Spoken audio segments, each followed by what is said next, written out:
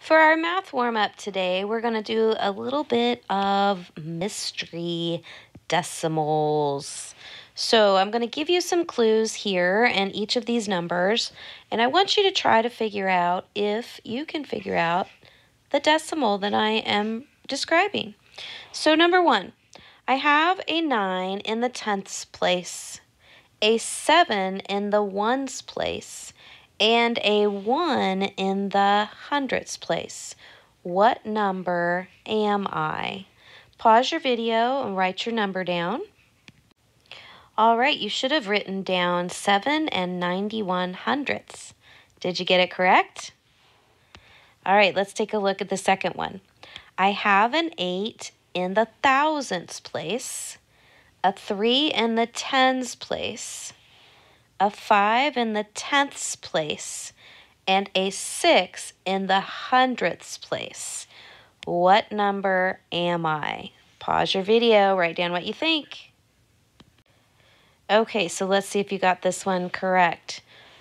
30 and 568 thousandths. So what you might have or might not have figured out is if I don't give you a value for a certain place, you'll have to fill that in with a zero. So notice in this one it said a 3 in the tens place, but it didn't say anything about the ones place. So I put my 3 in the tens.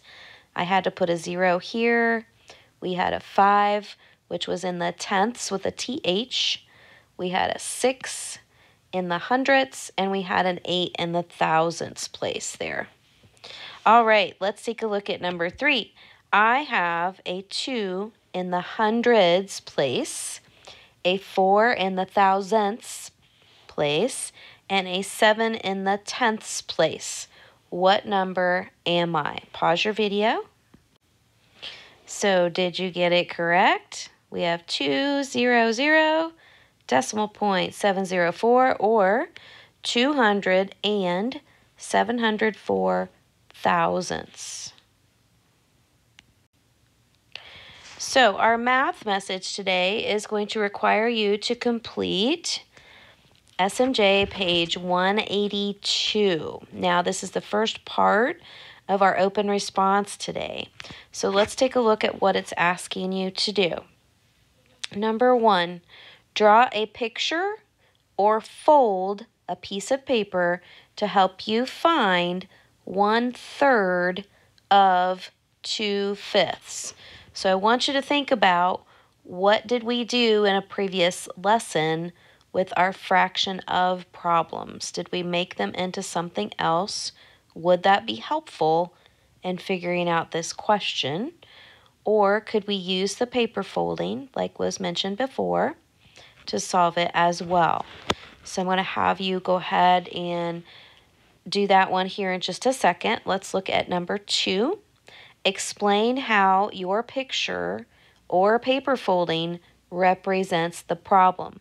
So once you solve it, you're going to have to explain how what you did solves the problem. So when you are all finished with your video and with completing this math message today, you are going to discuss with the people in your group what you did and why you did what you did.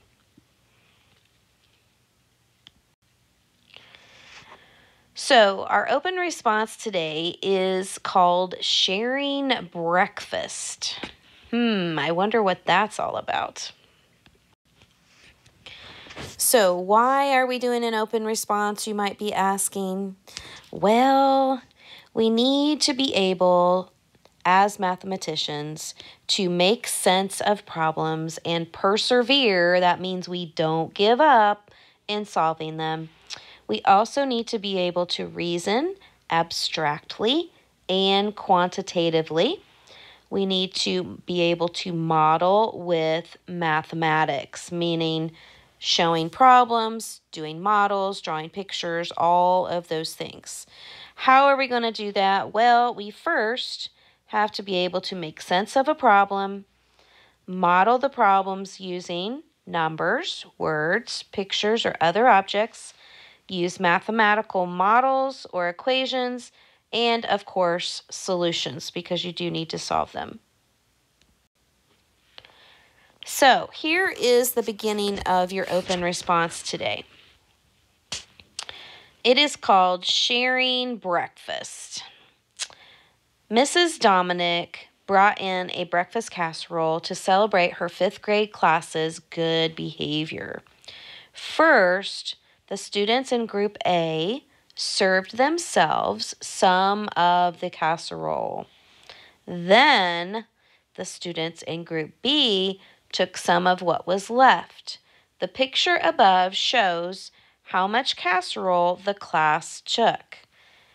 Number one, how much of the whole casserole did Group B take? Number two, add to the picture or make your own drawing to show how you find or how you found the amount the whole casserole that B took.